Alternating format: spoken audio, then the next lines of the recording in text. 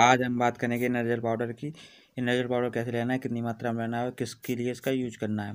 किसी भी मेडिसिन को लेने से पहले डॉक्टरी सलाह अवश्य लें। बिना डॉक्टरी सलाह के किसी भी मेडिसिन का प्रयोग बिल्कुल भी ना करें।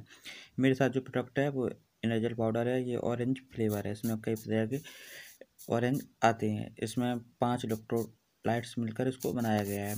इसमें जो इसकी जो एनर्जी की मात्रा होती है चौवन किलो कैलोरी एक पैक की इसमें मात्रा होती है। इसमें आप जो बात कर लेते हैं, इसमें किस किस का प्रयोग किया जाता है, इसमें सोडियम क्लोराइड पोटेशियम मैग्नीशियम और कैल्शियम का प्रयोग किया जाता है।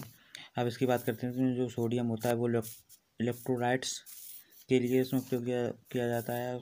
पोटेशियम होता है वो मांसपेशियों में जो ऐठन होता है उसके लिए प्रयोग किया जाता है। क्लोराइड होता है वो जो पानी की संतुलन की मात्रा होती है उसको बराबर मेंटेन बनाए रखने के लिए इसका प्रयोग किया जाता है। कैल्शियम जो होता है हड्डियों को मज़बूत बनाने में इसका प्रयोग किया जाता है। इसका मुख्यतः उपयोग शरीर को तुरंत ऊर्जा प्रदान करने के लिए दिया जाता है या शरीर को जो मेंटेन्स बनाने के मेंटेन रखने के लिए इसका प्रयोग किया जाता है। इसको लेना कैसे है? तो उसको लेने की बात करते हैं तो उसको एक गिलास पानी में एक चम्मच नजल पाउडर का प्रयोग करना है। करना है या फिर डॉक्टर की बताई हुई मात्रा के अनुसार आपको लेना है।